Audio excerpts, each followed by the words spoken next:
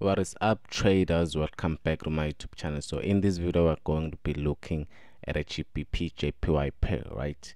So um basically when i'm actually looking at this pair um it is sort of like moving um in a triangular state if i may put it that way. Right that's how it's actually moving. So what i'm seeing from this pair is uh, if I if I can just draw my resistance there and my support there right?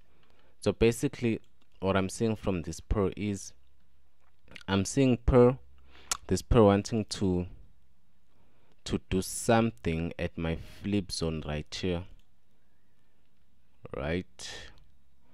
As you can see that we've got this nice short um short term um, bearish trend right?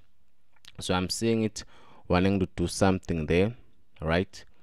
And uh, you know if by any chance um, it might come here right and then do whatever it does maybe manipulate and then proceed its move to the downward or come to to that um to that resistance or just um or just go down because as you can see here that this is sort of looking like an M right?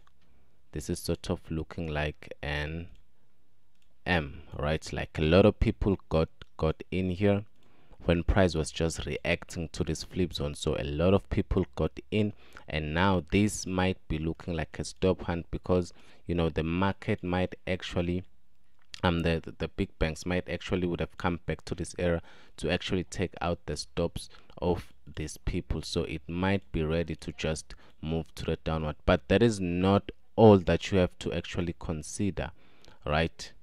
That is not all we have to consider. So as i'm looking at this pair we also have these opposing resistance i mean this um this opposing support right we also have this opposing support right here. So you mustn't just look at things um, one-sided way. So we also have got what? This support right here right?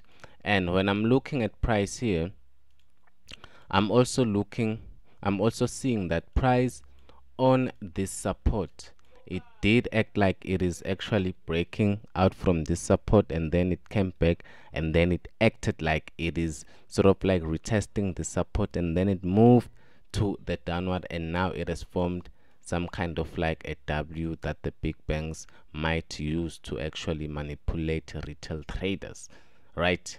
So you know I, I, feel like we're, we're actually at that level where you need to really really wait for your confirmations before you actually enter on a particular trade right? So for me if you were to enter probably uh, if you were to say oh okay price is seeming to, to react from from from this um from this flip zone then you might you might want to enter just a little bit long before you can confirm that oh, okay this right here is actually what? This right here is actually my m.